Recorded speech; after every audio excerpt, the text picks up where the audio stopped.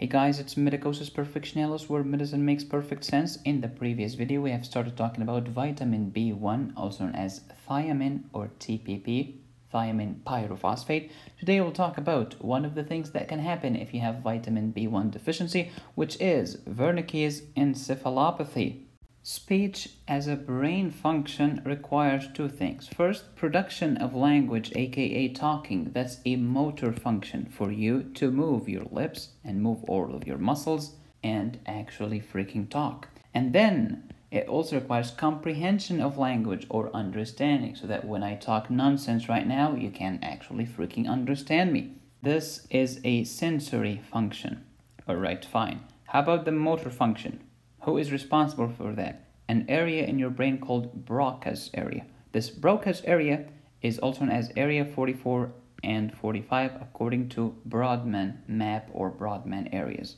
Brodmann is the scientist who actually mapped the areas in your brain. And how I remember it is Broca with the B is same as buccal, which is your mouth, so to speak. And in Spanish, mouth is boca. Okay, I get that. How about comprehension? How about actually understanding? This is Wernicke's area or area 22. And the way I remember it is Wernicke, what are you saying? What are you saying? It's the comprehension, it's the sensation, it's actually making sense of what you said. So many students actually get confused about the different areas of the brain, when in fact it's very easy. It's just your professor who is so fake he cannot even find his butt with both hands did not explain it to you. So listen sunshine. There is the brain. You can actually divide it with an imaginary line so that the front is responsible for motor, generally speaking, and the back is responsible for sensory, generally speaking. Let's talk about Broca's area, responsible for motor function, actually the ability of you to move your mouth, your lips, and your facial muscles to actually freaking speak, as well as the vocal cords. So, do you think this is a motor function or a sensory function? It's a motor function. And that's why, believe it or not, Broca's areas is here. It's in the anterior half. It's here, a motor function. How about me understanding what you're saying? Wernicke's area. Do you think this is motor or sensory? Sensory. So it's going to be in the back. Believe it or not, it's about right here. This is Wernicke's area. How about um, frontal eye field, the area of my cortex that's responsible for the movement, the movement of my eye muscles. Do you think it's going to be in the front or in the back? You guessed it, and here is motor or frontal eye field or motor area 8. How about the vision itself? Not the eye movement, but the vision, the ability of my retina and my optic nerve to actually freaking recognize what I'm seeing. Do you think it's a motor function or a sensory function? Uh, similar to perception, so this is a sensory function. That's why the area of your cortex is called the visual cortex that's responsible for the vision is actually in the back because it's a sensory, so it's in the back, it's not in the front. Let's say I want to kick you in the butt, metaphorically speaking. I will not I will never do that because I love you. If I want to kick you in the butt, I will use my primary motor cortex right here. Let's say you poked me with a stick or with a pin or whatever and I sense ouch, this is this hurts. Do you think it's motor or sensory? It's sensory. So it's here, baby. It just makes sense if you understand what the flip you're talking about. Now medicosis, I get what you're trying to say. But I still can't tell why Broca is here. Why not here, here, here, here, or here? Okay, what is Broca responsible for? It's responsible for understanding what I hear from you. What you what? What I hear from you. So it's related to the ear. Yes, the ear is about right here, baby. It's here. So Broca's areas is very just, just next to the ear. Makes perfect sense once you understand what the flip you're talking about. Do not expect to hear that from your professor anytime soon.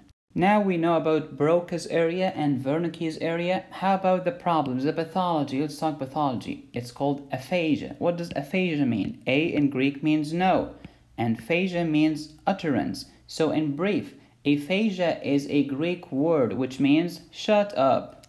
You can shut up your mouth or shut up your understanding. Wow, this is profound.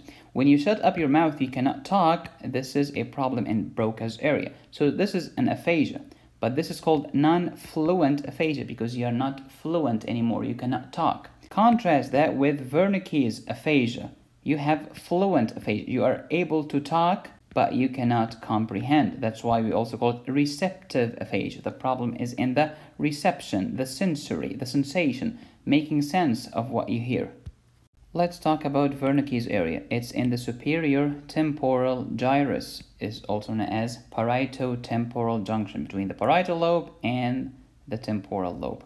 And this is in the dominant cerebral hemisphere. In other words, if you are right-handed, you will find Wernicke's area in the left hemisphere. Don't ask me why. I have no idea why the right side of the brain supplies the left side of the body. If you have an answer, please let me know. Next, it encircles the auditory cortex. Yes, indeed, because after you listen, you should freaking understand. Nice. It's responsible for word and sentence comprehension. The lesion to Wernicke's area will lead to receptive aphasia, also known as fluent aphasia because you can still talk, also known as sensory aphasia.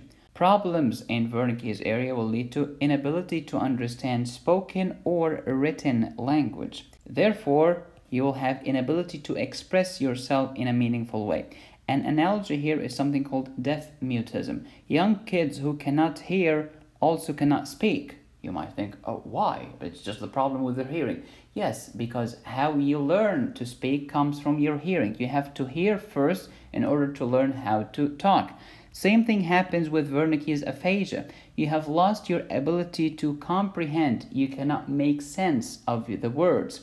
Therefore, you'll be unable to actually form some coherent sentences that make sense to other. Does that make sense? So the patient is fluent, he can talk, he can say words, but circumlocucious. Just learned this word the other day. Wow, what a description. The patient, by the way, is unaware that he or she has a problem. We call this ego syntonic. Ego is self. Syntonic is like in synchrony. The patient actually believes that he's okay, he's fine. Contrast that with something else called ego dystonic. Dystonia is like an abnormality. Ego dystonic is when a patient have a disorder that he is aware that he has a problem. But the patient with Wernicke's encephalopathy or Wernicke's aphasia actually thinks that he's awesome and he has no problem whatsoever. And he gets frustrated if you, as a doctor, try to treat him as a patient because he thinks that he's the best ever. Now, how does this circumlocution actually sound like? Now I'll try to be a Wernicke's aphasia patient and you will hear it. I'm not making fun of patients. I'm just trying to make medicine easy for you so that you can diagnose and actually help patients. And here it goes.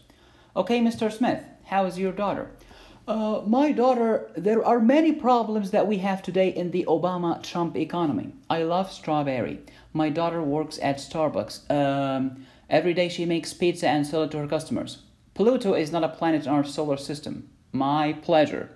I couldn't find my bottle of medication this morning. 100% chance of rain and humidity. Foolishness, you know, Doc. I always felt lonely in my life. My daughter doesn't like working as a nurse. I've told you, I've never had sex before. I cannot speak English. Can you believe that the price of tomato doubled over the past two potatoes? Nonsense. I told Alex to floss. Marie Antoinette never existed. I couldn't find my car in the bedroom. See? I've told you. Vanity of vanities. She doesn't like cappuccinos. I told her to quit. Uh, she can't find my uh, motorcycle in the living room. The zombie apocalypse is a documentary. I don't like the nine judges of the Supreme Congress. How are you doing today? You love Frappuccino? Fluent but circumlocucious, voluminous but uninformative. In the previous video called Vitamin B1 Deficiency, which by the way you should watch, I've told you that vitamin B1 deficiency can lead to three diseases.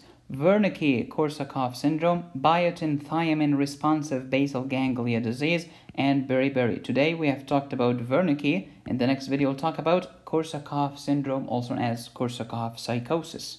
I think you should get my electrolytes course, which contains 19 videos plus 10 cases with answers. It's available on my website called medicosisperfectionalis.com and use this promo code to get 60% off this order. Thank you. Thank you so much for watching. Please subscribe and join the tribe. Hit the bell to get notified. Follow me on all of these platforms and you can get my course. You can get notes. You can get cases. You can get one-on-one -on -one mentorship with yours truly. Thank you so much for watching. As always, be safe, stay happy, and study hard. This is medicosis perfectionalis, where medicine makes perfect sense. Does that make sense? If it doesn't, you might have Wernicke's aphasia.